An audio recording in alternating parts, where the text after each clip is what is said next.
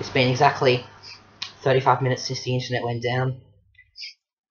I, it's getting hard. At first I thought it was just me, but then I looked at, the, I talked to some of my friends. They were all having troubles as well. And then I went on the news, and it, it, the, the entire internet's been wiped. Nothing's left. Uh, I think looting's about to start. Mass panic. There's panic already, and well, uh, time at the moment is exactly 9:21 p.m. on the 28th of December 2013. Yep, we have to rebuild, but I think all hope is lost.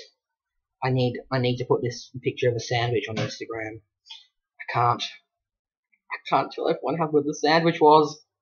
You might be thinking that it is not possible to delete the internet because it is spread across so many servers and computers.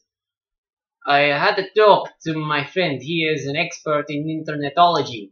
He tells me that it is possible because there is one point of weakness for the entire internet. Um, which is a server in the United States. Terrorists have targeted that server and now the entire internet is being deleted because of that terrorist operation. The NSA are investigating, but it is proving very difficult without the internet to assist them.